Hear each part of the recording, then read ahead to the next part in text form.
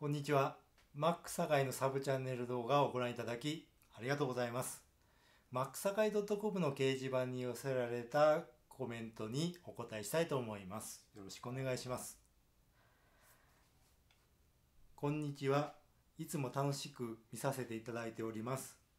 酒井さんの動画に出会ってすごく自由に興味を持ち、サバゲー APS、ゆくゆくは実弾の大会などに出られたらいいなとも思っています。今はお座敷シューターなので、どうも APS などは仕切りが高く感じてしまいます。ほとんど初心者で APS に出る方などいらっしゃるのでしょうかまた実弾射撃大会では誰でも参加できるのでしょうか制限や規定などありましたら教えてください。なかなかと申し訳ありません。というコメントいただきました。ありがとうございます。はい。APS が敷居が高い。どこら辺がね、敷居が高いかすごい僕は知りたいんですよね。私が予想するに、まずやってるのがね、関東地方だけなん、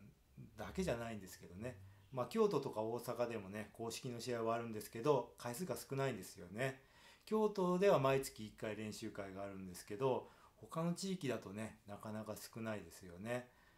関東だとね、フロホビーショップフロンティアさんとか他の店舗さんで毎週末どっかでね練習会とかはあるんですけど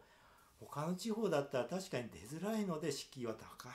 とも言うかもしれないですね。ただねうんなんだろうな。APS がね一番出やすいと僕は思っています。理由っていうのは APS のハンドガンを買えば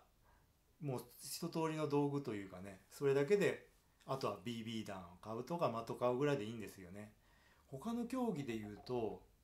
だからスティールチャレンジ。まあスティールチャレンジは専用銃買わなくても出れるっちゃ出れるんですけどホルスターとかあるじゃないですか。まあホルスターあったとしても練習場所に関して言えば APS で5メートルかけるまあまあ人の幅ぐらい。あれば最低限ね練習できるんですよ。でもねスティールチャレンジは敷居が高いです。っていうのはスティールチャレンジってねちっちゃいステージでもあの 4×5 とか必要なんですよ。それだけのところって持てなくないですか？例えば APS だったらあの家でね、まあ、5メートル取れなくても34メートルとか取れるとするじゃないですか。そしたらまあ打てるわけなんですよね。でもスティールチャレンジをねステージを組むのは大変ですよね。機材も大変だし。でも APS っていうのは、まあ、まあ最悪ね A4 の紙に的をねあの僕のホームページにある紙を印刷して練習もできます。だから APS の方が僕自身はねなんか入りやすいなと思うんですけどね。まあそんな話は置いといてすいません。あの敷居が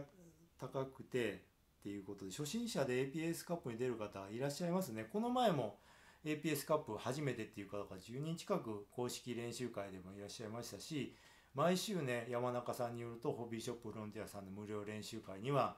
やっぱり1人2人は必ずね新しい方が入ってくるらしいんですよね。なのでうーんほとんど初心者の人って僕も最初初心者ですよもちろん。みんなそうです。初心者の人が入って始めているわけで僕もなんだろうまあ思い出したくないけどまあ若い頃があってその頃はねあの行ったわけですよ。どんな世界もそうですよね。あのスポーツまあ例えばマラソンとかいろいろだまあ分かんないけどいろんなスポーツあるじゃないですか。一番最初ってやっぱり何でも大変なんですよね。シューティングだけが大変とは僕は個人的には思わないですね。是非あの飛び込んでいただければいいし大体ね APS とかスティールチャレンジって僕いるので顔を見てる人がねいるとちょっと楽ですよね。あこういう人たちがやってるんだ。っていうことがわかるじゃないですか。で APS だったらね山中社長とかリスキーさんとかもいらっしゃるんであこういう人たちあこういう感じか。っていうことがわかるし昔はね競技の大会の動画とかって一般には出てなかった。いいとこ写真なんですよね。それが今や僕毎回ね APS の公式出てるやつはもう出してるじゃないですか。だからああこういう雰囲気でこうやこういう感じなんだってわかるからすごくね敷居は低くなってるはずなんですよね。でも僕の動画見てもやっぱり敷居は高く感じちゃうんだったらちょっと難しいですよね。っていうわけで、えー初心者の方でも出てる人はいらっしゃいます。結構長くなっちゃったな。えーと、実弾射撃大会は誰でも参加できるかこれはハードル高いですよね。いくら旅行者って言ってもうん射撃大会ってレンタルガンとか普通ないですよね本物で。だからスティールチャレンジまあ僕の動画見てるので実弾のスティールチャレンジっていうことで話進めますね。あの例えば実弾の射撃大会って言えば日本でもねクレー射撃とかスモールボアとかラージボアとかあるじゃないですかそういう大会はあるわけなんですよだから別にうん実弾射撃大会はって書いてあるんでこれ国外って書いてないあそうか実弾射撃大会あのちゃんとね二十歳でしたっけ？まあもちろんあの学生でも取れるのかな？すいません。あのまあ二十歳過ぎて所轄にねあの申請していろんな書類を出してまあ今日なんだっけ試験があるのかな？試験とか、まあ、実技やって身辺調査とか、まあ、いろいろバーバーやったら実弾射撃大会出れますね。だから海外で実弾射撃の大会出るよりも日本でねそうやって順番を踏んだ方が確実かと思います。っていうのはね大体海外の射撃大会出るってうんスティールチャレンジとかだと向こうの現地の方にお世話にならないとできないんですよだからね僕はたまたまねイチローさんっていう方とまあちょっと仕事というかまあそういうのも絡めつつちょっとお近づきになれたんですけど今どうなんだろうな。まあいくつかねあの私の知り合いでスティールチャレンジに出てる方があるいらっしゃるんですけどあの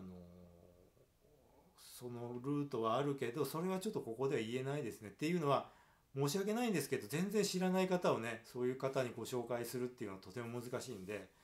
なのでもしスティールチャレンジ本気で出たいと思えば日本のねジャパンスティールチャレンジ出てください。それで何年も何年も出て周りの信頼を得てそれで一生懸命やってたらね実弾でスティールチャレンジを打っている人絶対行きます。なのでまずはうん日本のエアガンの大会を一生懸命やってください。エアガンを撃てない限りは本物はできないですから。本物は撃てるけどエアガンを撃てないっていうのは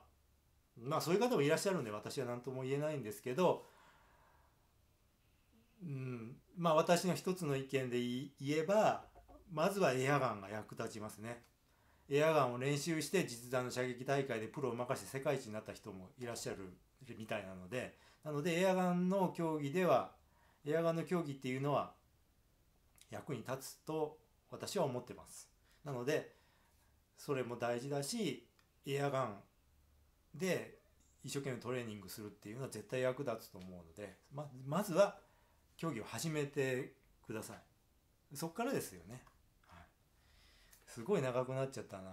ということで、えー、初心者は APS 競技とか出れるんですか？みたいな質問にお答えしました。まあ、あくまでも私の意見なんで間違いもありますんで、まあ、その辺はいろんな方の意見を参考にしていただければと思います。最後までご視聴いただいてありがとうございました。